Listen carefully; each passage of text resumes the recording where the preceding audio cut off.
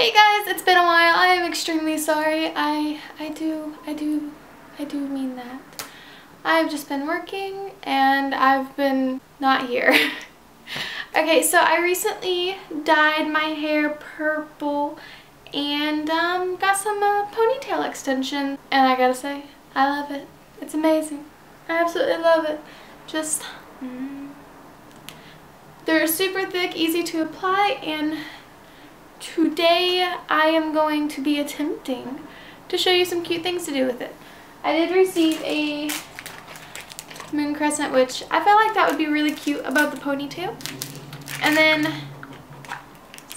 These spikes are like, they're super silver. They're actually kind of heavy, but um, I have no clue how many there are.